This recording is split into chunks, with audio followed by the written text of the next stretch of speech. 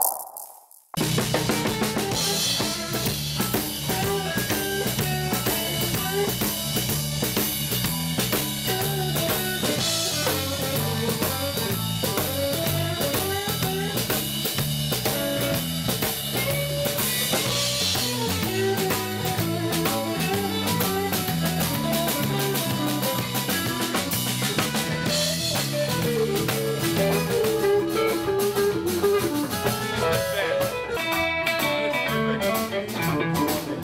I went to the Berkeley School of Whistling.